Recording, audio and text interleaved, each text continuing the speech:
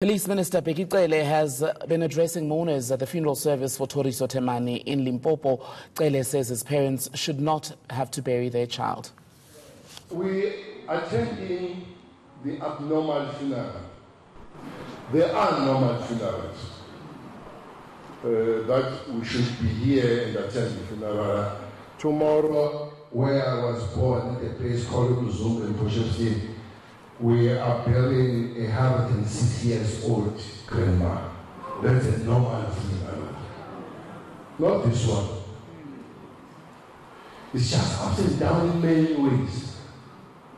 The kind of a person you are burying. Not that there are people that uh, you will enjoy when you bury, but there are people that you will really not mind to bury.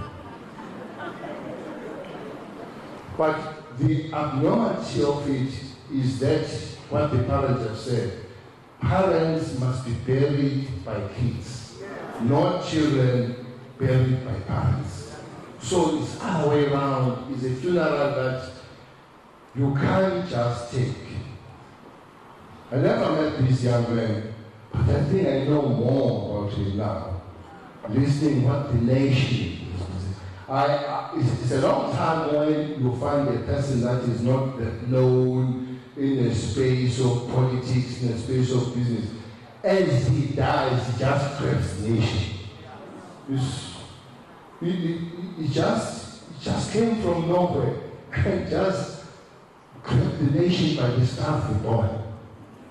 It's a, it's a, it has become a national issue. That there is a young man somewhere uh, it's not even Johannesburg or big cities, but Batulis or Cape Town. Just somewhere in the corner of the country, a Polokwane. But he has just managed to spin all of us.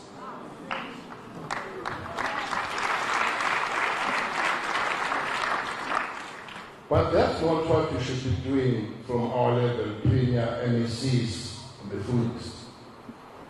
Well, I, I heard one Mfundisi saying they must go to school, schools and pray, open schools open.